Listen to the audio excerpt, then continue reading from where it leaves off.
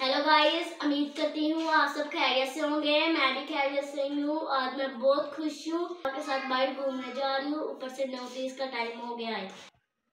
मैं जहाँ मैं जा रही हूँ, उसका नाम है कैंट हाउसिंग पार्क मैं आपको वहाँ जाके उस उस जगह का व्यू दिखाऊँगी। इतना अच्छा व्यू है और मस्ती हम करेंगे और आपको झूले भी दिखाएँगे। इतने प्यारे वहाँ झूले हैं ना। अब चलते हैं पार्क की तरफ़। इधर मैं और मेरे पापा झूला ले रहे हैं। पीछे से मेरी छोटी बहन मुझे झूला दे रही है। अब हम पीछे की तरफ़ जा रहे थे, मैं उठी हूँ और मैंने अपनी छोटी बहन को बोला कि जाओ बैठो। तो वो कहती है, ओके बहन, आपने झूला ले लेना? मैंने बोला, मैं ले लूँगी, वैसे आप बैठो तो सही। तो वो बैठी झूला लेने के लिए, उसे बैठा नहीं था जा रहा। तो बाद में मैं दूसरे झूले के ऊपर गई। वो उसे पता नहीं क्या कहते हैं, स्लीपिंग, मैं तो ये कहती हूँ, स्लीपिंग झूला। तो इसके ऊपर बैठ के जब ये नीचे को जाते हैं तो इतनी ज़ोर से ही एक दफ़ा नीचे गिरी ना। तो अब हम दूसरे झूले की तरफ़ जा रहे हैं। हम दूसरे झूले के ऊपर गए हैं, लेकिन ये ऊपर नहीं हम जा सके ना। लेकिन हमने बहुत कोशिश की कि ऊपर जाएँ, लेकिन जा नहीं पाए थे। मेरी छोटी बहन तो काफ़ी ऊपर चली गई थी। अब हम बतखे देख रहे थे, इतनी ज़्यादा बतके और प्यारी प्यारी बतके थी ना। और ये मेरी छोटी बहन है, ये मैं हूँ। और अब ये मेरी छोटी बहन तो नीचे उतर गई तो वो भाग के पता नहीं अब किधर जा रही है। तो मैं उसके पीछे पीछे गई हूँ तो वो जाके फिर झूले पे बैठ गई है कि पापा जी मुझे झूला दे, मुझसे झूला नहीं लिया जा रहा। मैंने उसे बोला, इधर मेरी जगह उठो, इधर से। नहीं उठी। फिर मैंने दूसरा झूला लिया, मैं उसके ऊपर बैठ के झूला लेने लगी।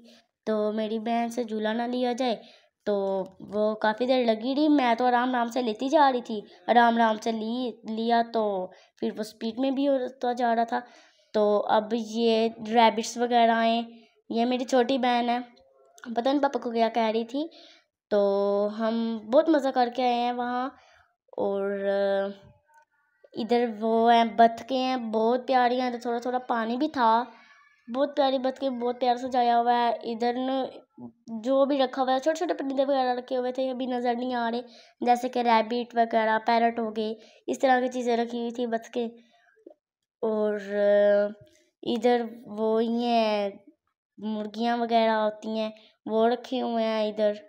ये भी वही है, माशाल्लाह, बहुत प्यारा था, हमें इतना मज़ा आया कि आप हमसे पूछे ही ना।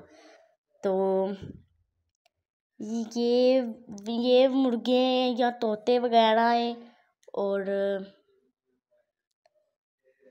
इधर पैरट्स हैं या पता नहीं क्या है। हम इधर पता नहीं क्या देख रहे तो बहुत प्यारा था वैसे इधर का सीन आप, हमसे पूछे ही ना इतना अच्छा था। मैं, ये मेरी बहन झूला लेने से रही थी, मैंने उसे दिक्का दे के दिया। फिर हम ज़राब के पास गए तो मुझे भी थोड़ा बहुत डर लगा था।